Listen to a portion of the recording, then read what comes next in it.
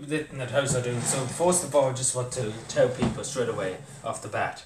Um, this is pretty serious, so please just listen for a second. Um, so as you know, there's been a lot of forest fires, or you could describe it as gorse fires. In other words, too, you could describe it. So there was a gorse fire, um, down in Ballyconnell in County Cavan earlier on today. Um, obviously we had the air corps out and we had, you know, many fire units and many many fire units out of the Cavan County Fire Service. Um, and it was started by somebody born.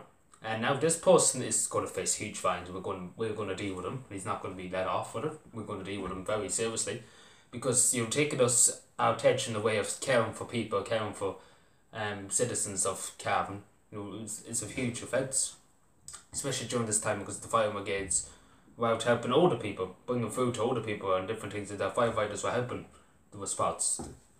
Um, and obviously that's a very selfish thing to be do. to, you try and draw the attention away. Um, so this person will face huge fines. But again, to people, I just say, um, you was let go on for too long. It wasn't reported for an hour or two. Um, so we lost that critical time. But saying to people straight away to report if you see gorse fire or any kind of fire. The ground is very um, dry at this time.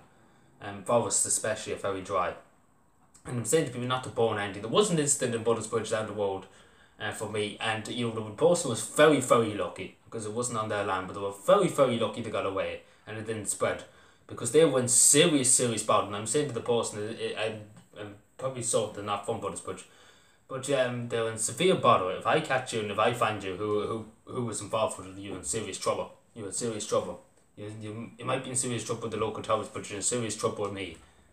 Um, for lighting that fire first off and putting people in danger and put, you possibly setting a fire. Um, so you know, obviously, I'm encouraging people not to do that. Not to do that.